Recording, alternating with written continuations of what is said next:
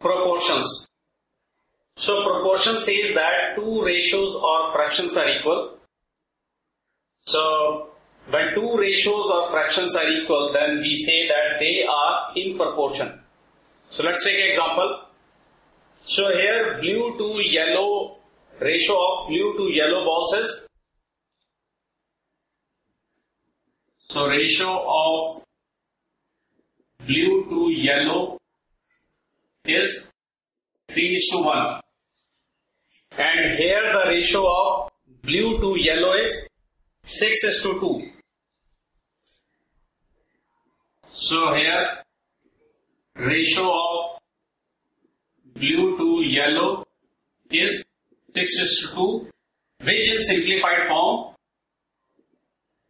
which in simplified form is how to make it simplified. You can divide them with the same prime number. So that prime number start with the 2 so 2 ones are 2 2 3 are 6 so in simplified form it is equal to 3 is to 1 okay? So now since these two ratios are equal so they are in proportion and can be written as since above two ratios are equal, so they are in proportion and can be written as 3 by 1 is equal to 6 by 2 because this ratio, this ratio can also be written in fraction like this and this can be written like this in fraction. So these two fractions are equal. Since these two ratios are equal, so their fractions are also equal and that's why they are in proportion. So since the two ratios are same, so they are in proportion and can be written as 3 by 1 is equal to 6 by 2. So proportion can be in the ratios of different units. So when we talked about different units, so we talked about that different units cannot be added, subtracted, multiplied, but they can be in different ratios, they can be divided. Okay? So for example, say if a rope of 20 meter weighs 20 kg, then a rope of 40 meter weighs इसका कितना wait होगा of course इसका double होगा 40 kg.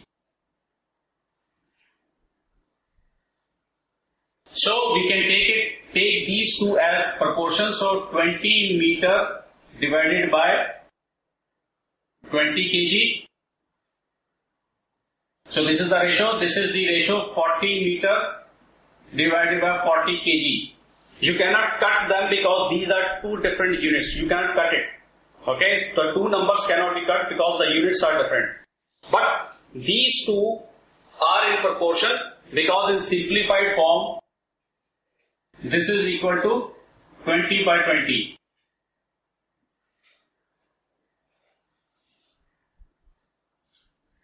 So what I said is you cannot cut it. It means that you can cut the numbers but units cannot be cut. Okay. So the you can cut it with the prime number. So in the simplified, we can further simplify it. We can further divide it by two. But now these two ratios are equal. So 20 meter divided by 20 kg is equal to 40 meter divided by 40 kg. Or similarly, we can also write that 200 meter divided by 200 kg.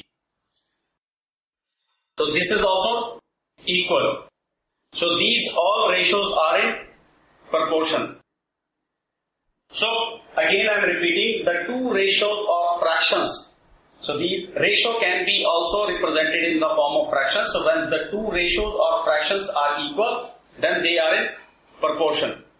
Let's solve some question related to proportion in the next chapter.